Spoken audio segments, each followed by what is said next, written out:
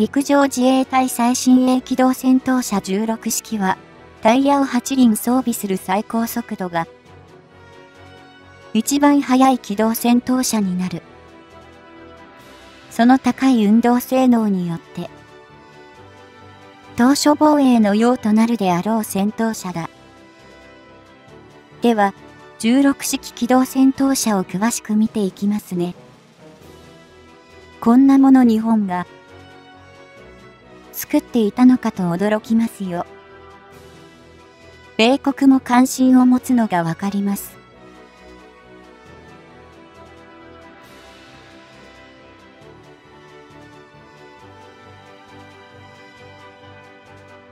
軍事兵器は、その時々の情勢に合わせた新たなニーズが発生し、それに合わせた兵器や運用が行われるというサイクルを繰り返す。いわば、究極の分野だということができる。例えば、現在の最新鋭戦闘機は、第5世代戦闘機と一般的に故障されているが、日本も導入を進めている F35 ライトニングには、高度なステルス性を備え、今や、それは必須の能力となりつつある。大掛かりなこうした航空戦力や海上艦艇などの兵器は装備する兵装も、最新の電子技術が用いられ、従来の兵器を大きく凌駕する革新的な新機軸の導入が運用そのものを変えてきた。陸上兵器に目を向ければ、戦術、戦略にまで影響を及ぼす。そうした変化は、航空機や艦艇ほどの激しくはないようにも見えるが、それでも、やはり、新たなトレンドは発生している。ことに従来のような正規軍同士の直接的な戦闘が発生する機会が、減少した現在では、陸上兵器の頂点に君臨してきた戦車にも不要論が唱えられるなど、その見直しを迫る動きが顕著だ。これは、例えば、アメリカ海兵隊が大きく重い M1 戦車の運用を改め、その運用はアメリカ陸軍に集中させる決断を下したことからも明らかであり、今後もその流れは加速しそうだ。日本の陸上自衛隊においても、こうした傾向は考慮されており、従来の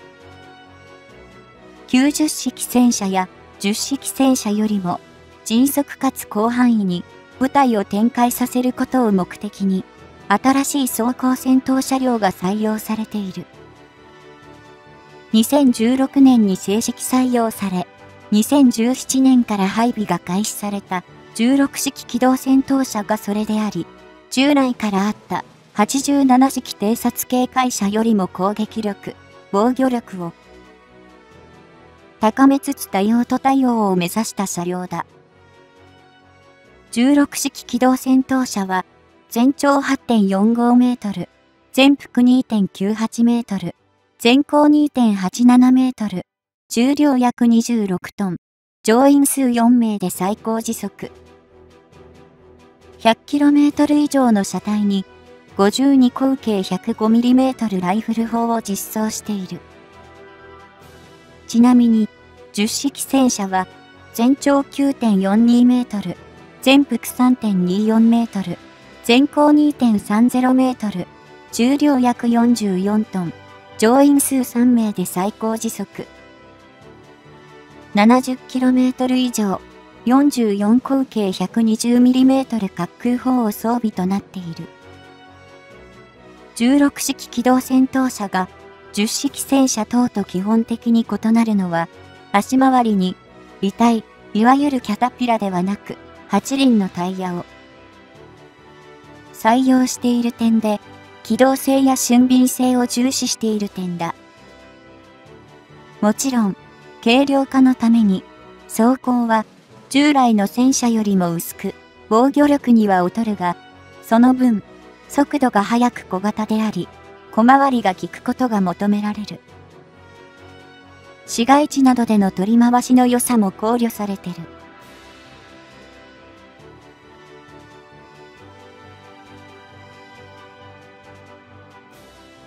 手法も、52口径 105mm ライフル砲と10式戦車の44口径 120mm 滑空砲には破壊力で劣るものの、かつての主力。74式戦車の砲弾が流用可能で、従来の装備を無駄なく活用する仕様だ。16式機動戦闘車の乗員数は4名で、内訳は、車長以下、操縦士、砲士、装填手であり、10式戦車等のように自動装填装置は、採用されていないことから、1名多い乗員数となっている。16式機動戦闘車は、8輪のタイヤで駆動する方式のため、高速道路などの整地上では、最高速度約 100km 以上を発揮可能で、さらに、航空自衛隊の輸送機での空中輸送も可能である。この点が、戦車と最も運用が異なる点であり、敵の戦車と快適して、これを撃破する目的ではなく、同様の敵装甲車両との対峙や歩兵部隊の間接支援を最大の目的として設計されている。従来の陸上自衛隊の冷戦構造化の基本の戦略テーゼでは、旧ソ連や現ロシアが北海道に上陸してきた場合に、これを撃退する主戦力が戦車であり、そのために配備されていたものだ。よって、前級の主力戦車である90式戦車は、旧ソ連や現ロシアの強力な戦車を迎撃するため、総重量で50トンを超過する。重戦車となっており、北海道以外ではほぼ使用できない。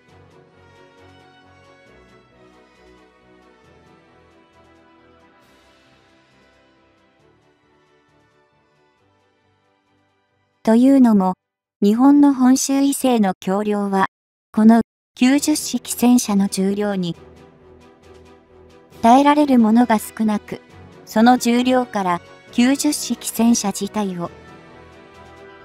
輸送する手段もなく、基本自走する以外に移動は不可能だった。しかし、こうした90式戦車を生み出した北海道への脅威も、旧ソ連の崩壊によって、1990年代以降は急速に衰え、逆に南西諸島方面への中国の軍事的圧力が2000年以降顕著になる。世界的にも同時期に正規軍同士の戦車戦闘の発生という図式はもはや発生を心配するほどの頻度はないとみなされ、ゲリラ戦などにも向いた軽量の装甲車両が注目される状態となった。陸上自衛隊の16式機動戦闘車は、こうした脅威の変化、つまり、北海道への低下と南西諸島への増加、世界的な非対称戦への対処を目的とした。新型装甲車両のニーズに合わせて生み出されたと言えるだろう。16式機動戦闘車は、令和3年度予算までで164両の調達が予定されているが、今後も、逐次、全国への導入を続け、最終的には、200両から300両程度の配備数になると考えられている。